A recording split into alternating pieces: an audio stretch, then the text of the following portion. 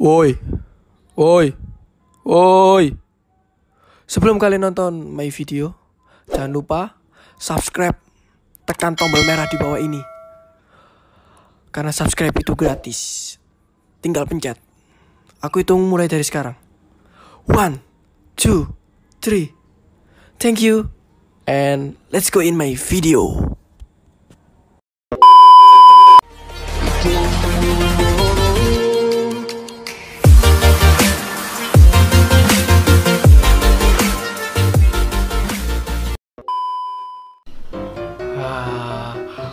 Welcome back to my YouTube channel. Eh, kali ini aku punya segmen baru yaitu segmen Bri Talk.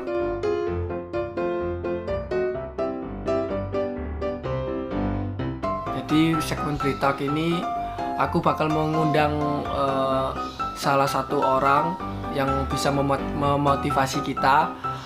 Eh, kalau kalian penasaran, tetap tonton. Eh, pasti orang ini eh, nggak nggak asing lagi buat kita apalagi pecinta sepak bola. Eh, pasti semua orang tahu siapa orang ini. Eh, ini salah satu bintang tamu hari ini yang bisa memotivasi kita. Kita panggil aja sekarang. Bagus Kavi. Halo sekarang inilah bintang tamu kita bagus Kavi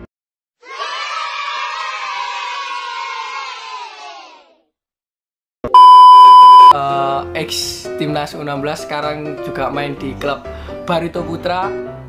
Guys, silakan say hello dong di Hai. Di video ini. Halo semua. Halo semuanya.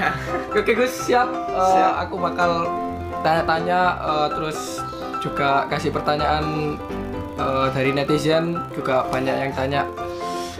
Eh, udah beberapa aku pilih ini. Oke siap. Siap. Langsung aja pertanyaan ke pertama dari Dian underscore 923 Kak hal yang paling gak bisa terlupakan semasa hidup kakak Gus Kavi Ah, yang nggak bisa dilupain Gak ketika bangkit dari cedera sih. Eh, ketika itu saya mengalami cedera dan bisa apa bisa dikatakan cukup lama setengah tahun enam bulan apa nggak main bola terus kita terapi eh saya terapi terapi timnas ya? timnas terus kita nggak ikut Nah, event itu ke waktu asal asal kalian tahu guys dia itu eh, cedera waktu timnas waktu kita juara di Jepang dia kan nggak ikut. Dalam perjuangannya bagus Kavi itu Terus, ap- ya. hal yang nggak bisa terlupa- terlupakan? Iya itu. Kan selain itu ada lagi nggak? Enggak lah udah itu aja. Yuk next question dari Mita Zen hal apa yang membuatmu marah ke kembaranmu Bagas mungkin setiap hari kali oh, Oh iya iya. bagus sekali Aku ini. kalau punya cuplikannya nanti aku kasih di sini ya. Aku sering Ah. sering lihat dia berantem. Ya itu seru. setiap setiap hari kayaknya hampir berantem masalah apa aja Pokoknya beda pendapat. iya beda tentang- pendapat kita berantem apa aja pokoknya apa Pokoknya- aja yang berbeda argumentasi pasti itu berantem Pokoknya lah, pokoknya lah kon gulat le lucu le. aku sering dulu. Ih. Mesti tak rekam. Oke. kasih cuplikan yang cuplikan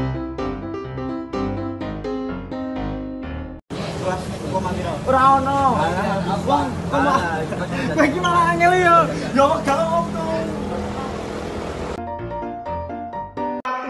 burine meneh. Wis ono setan. Iya, ya bajingan. Mbak kunci enggak Oke, next eh, pertanyaan dari Enana Jema. Enana Najma. Kapan mulai kenal Brilian dan dia mana? eh, Dan di mana? waktu pertama kenal Brilian tuh eh, Asbi. Asbi ya di Jakarta Ah, kita ya jadi ada 10 event, tahun kayaknya ah, 9 tahun 10 tahun Evan Evan Asbi itu umur 9 10 tahun kita. ya? 9 eh, 10 lah 10 tahun tuh di Jakarta. Di Jakarta. Cibubur atau apa? Jadi Iya, di kita dia ikut Jawa Tengah, aku ikut Jawa Jawa Timur. Timur. Makanya eh, nggak kalian kan sering tanya kok sering main sama Ziko sama Bagas Bagus ya gimana kita nggak sering main orang dari orang kecil. kita dari kecil dari 10 tahun tuh udah bareng-bareng sampai sekarang bisa pernah satu tim sampai di timnas juga bareng-bareng jadi bukan berarti kita itu bareng-bareng tuh bukan nggak mau kumpul sama yang lain. Ini eh, klarifikasi juga ya. Iya.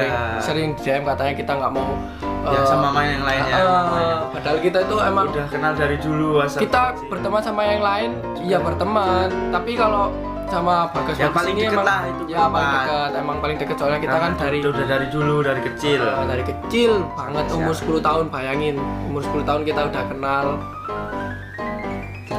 Itulah sampai sekarang. Oke, lanjut pertanyaan selanjutnya dari Pati Pati nama underscore Adi. Perasaannya main di Barito, makanan apa yang paling disukai di Banjar? perasaannya pasti senang lah apa main di Barito Putra dan semoga bisa memberikan Yang terbaik. yang terbaik buat Barito Putra dan makanan yang paling disukai di Banjar itu soto khas Banjar Wena. yang Soto- ada soto apa? soto nggak tahu namanya tapi itu tempatnya Ah, kayak di emang emang emang kayak di maknyus maknyus perahu gitulah di atas. Jadi kayak di atas Iya. sungai itu kayak ada apa ya? Kayak ada Eh, tempat makanan siapa gitu. komen aja di bawah. Kalau kalian tahu komen aja di komen orang bawah. Banjar. Dan Itu enak banget. ah, daerah mana sih aku nggak tahu juga. Kemarin sempat main di Banjar juga. Itu sempat nyobain. Emang enak maknyus Makjus. Pan penakilur lanjut pertanyaan ke berapa ini ya? Ke 6 ya ke 6 dari Faradisa underscore. Momen paling membahagiakan bersama Bagus Kavi kamu apa aku gini? Ya ya udahlah. Sama kamu dulu Aldama kamu ya? dulu aku momen paling bahagia kan ketika kita juara AFF 16 lah. Itu sangat membahagiakan sekali apalagi sama Berlian Agama lagi ditonton. Wah banyak. Jutaan orang Indonesia aku, itu. aku sih sama bisa sama-sama juara sama apa ya teman seperjuangan lah. Bisa Mimpi kita dari uh, kecil uh, ya. mimpi dari ki- kita dari kecil itu uh, uh, seakan-akan terwujud lah. Emang terwujud sih tapi kan masih belum sempurna. Kita kan targetnya masih panjang. Kita jadi kita waktu itu uh, juara di di tanah Jawa lah iya ya kan? di ditonton beribu-ribu orang terus eh, bagus juga momen terbaik.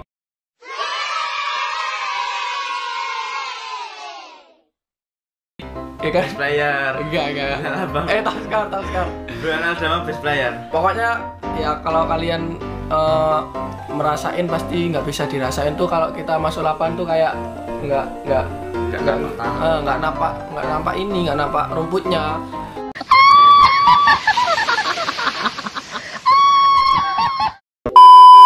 saking banyaknya banyak banyak orang itu ya nggak nyangka sih sebenarnya bisa apalagi seatmosfer itu Oh, bisa Terima juara kasih terus semuanya. didukung banyak orang ya.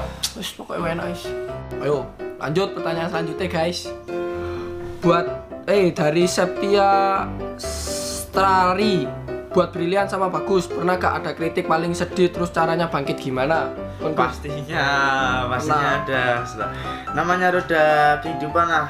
Justru justru dikritik itu penting. Hah, arek penting lah. Ah, jadi, jadi kita kita tahu kesalahan kita Ah, bisa masing-masing. diri ya? iya jadi ya tahu sendiri lah. Tapi intinya jangan baper sih jangan terlalu dibikin Ah, kalau kalian- kritikan jadiin motivasi, ke depan lah. Motivasi justru kita kalau dikritik tuh ayo mak- maksudnya Iya. dalam diri kita tuh pingin lah. pingin membuktiin kalau ah, kalau kalian tuh nilainya salah jadi kita malah apa ya kita malah termotivasi. Jangan malah jangan malah kita ngedon gara-gara dikritik. Ah itu udah lagu lama lah. Lagu lama. Udah. Kalau kalian ya tinggal, lah kalau sama kayak gitu ya tinggal kalian sendiri mau maju apa enggak. Introspeksi Tuh. diri lah. Hmm, ya.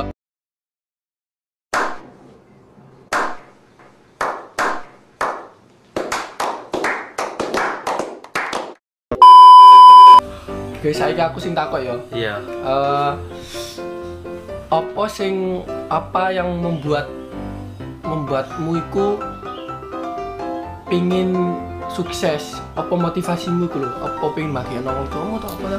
Ya pastinya melihat apa kedua orang tua itu bangga sama anaknya sih. Pasti itulah tujuan aku sukses. Jadi Oh. mau gimana pun apa membahagiakan orang tua lah.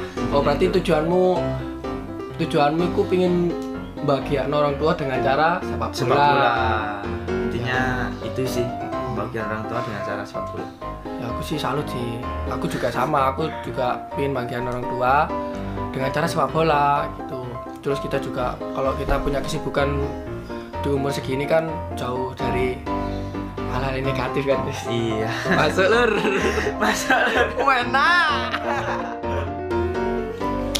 ya aku punya pertanyaan lagi Gus. Kasih eh, motivasi eh, kasih support buat viewers aku pasti kan yang nonton kan banyak apalagi Bagus Kavi bintang tamunya dikasih lah kata-kata motivasi biar orang-orang yang di sana yang nonton atau apa bisa bangkit lagi selalu berusaha, jangan pernah menyerah, putus asa dan semangat terus. Insyaallah bisa. So, itu kata-kata guys dari Bagus Kavi Eh, terus berusaha jangan putus asa tetap tetap lakukan keep going ya Keep going. Oke, selesai sudah eh, tanya-tanyanya ke bintang tamu kita Bagus Kavi, ex pemain timnas U16 dan OTW timnas U19. Amin ya Allah. Oke, bye. Eh, si si si, tapi gak sih dong. Jangan lupa like, comment, Spread. apa? Karena spread jalan nih rek. Spread, spread, dan jangan lupa follow Instagramnya Bagus Kavi di bawah. Oh siap. Bye.